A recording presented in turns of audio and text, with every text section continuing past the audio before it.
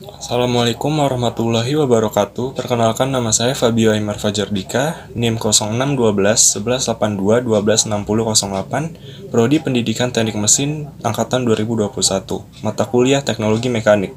Dalam video kali ini, saya akan menjelaskan jawaban dari pertanyaan sesi tanya jawab presentasi sebelumnya.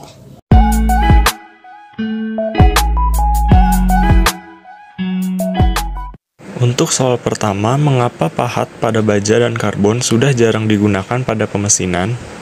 Jawabannya adalah material pahat dari karbon baja dengan kandungan karbon 1,05 pada saat ini sudah jarang digunakan untuk proses pemesinan karena bahan ini tidak tahan panas dan melunak pada suhu 300 derajat sampai 500 derajat Fahrenheit. Untuk soal nomor 2, pada saat ini pahat jenis apa yang umum digunakan dalam proses pemesinan?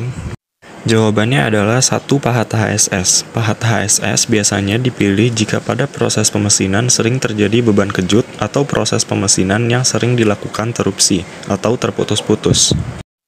Dua Pahat karbida. Pahat karbida ini digunakan untuk menyayat berbagai jenis baja, besi tuang, dan non-ferro yang mempunyai sifat mampu mesin yang baik. Soal nomor 3. Berapa minimal ketebalan pahat agar tidak patah saat terjadinya penyayatan pada benda kerja?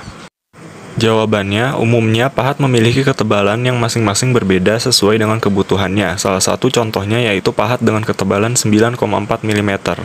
Soal nomor 4, apa yang terjadi jika sudut pahat yang kita buat tidak sesuai dengan standar yang ditentukan? Jawabannya, yang terjadi jika sudut pahat tidak sesuai dengan standar adalah akan berpengaruh pada hasil yang akan dibuat atau hasil akhir benda kerja, seperti permukaan benda kerja dan hal lainnya yang tidak maksimal. Soal nomor 5, mengapa banyak sekali jenis pahat dan kenapa tidak satu saja jenis pahat? Jawabannya karena pada proses pemesinan banyak jenis mesin yang digunakan dan itu berarti mengarah pada proses pengerjaan yang berbeda-beda untuk setiap bentuk produk. Sekian dari saya, kurang lebihnya mohon maaf. Wassalamualaikum warahmatullahi wabarakatuh.